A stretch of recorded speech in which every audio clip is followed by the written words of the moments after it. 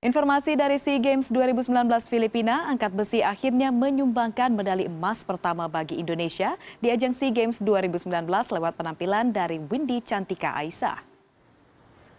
Turun di kelas 49 kg putri, Windy juga mempertajam rekor youth atau rekor remaja Asia dan dunia untuk kategori snatch, clean and jerk, dan total angkatan atas namanya sendiri.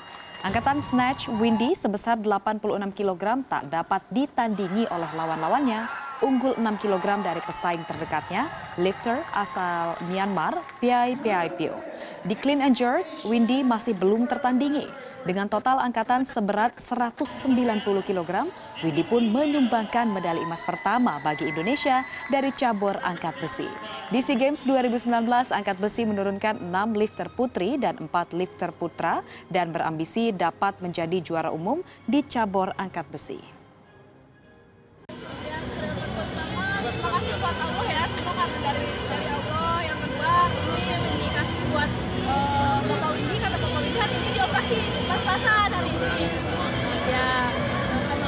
Buat Mama buat Indonesia juga buat